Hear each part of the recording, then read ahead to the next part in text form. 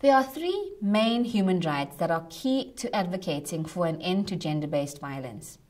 Firstly, the right to privacy is articulated under international human rights law in the Universal Declaration of Human Rights, Article 12, and the International Covenant on Civil and Political Rights, or ICCPR, Article 17.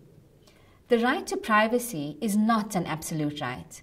There are instances in which the right to privacy can be legitimately limited by the state in order to ensure the protection or enjoyment of other fundamental human rights. According to international laws, interferences with the enjoyment of the right to privacy must only occur under three prescribed circumstances. If the interference has a legal basis, the law in question must be precise and there must be safeguards in place to protect against the arbitrary application of the law. If the interference is pursuing a legitimate aim, such as protecting interests of national security or the prevention of disorder and crime. And three, if the interference is necessary in a democratic society. The limitation must respond to a pressing social need and that it must be proportionate to the legitimate aim pursued. In a 2009 report on protecting the right to privacy while countering terrorism, the UN confirmed that these limitations applied when interpreting the right to privacy under the UDHR and ICCPR. If a woman's country has ratified relevant rights treaties and done too little to protect her right to privacy, she can contact the National Human Rights Institution in her region or a local human rights NGO. The second right is the right to freedom of expression, which is part of the Universal Declaration on Human Rights, Article 19, and the International Covenant on Civil and Political Rights, also Article 19.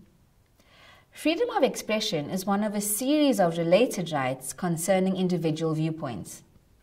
Freedom of expression does not therefore stand alone, but is located within a series of rights which are concerned with holding, sharing, and acting on opinions. This illustration shows the relationship between the rights. Freedom of expression is also often described as an enabling right because if we have the freedom to express ourselves, we are able to exercise and enjoy other rights, or to exercise and enjoy those rights more effectively. In Clause 3 of Article 19, the ICCPR sets out when the right to freedom of expression might be limited.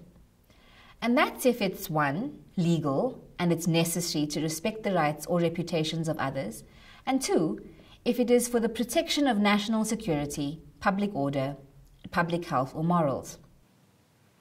The United Nations Human Rights Council has adopted the principle that rights, including freedom of expression, should be equally applicable online and offline. The third fundamental rights guaranteed under the Universal Declaration of Human Rights Article 8 is access to justice.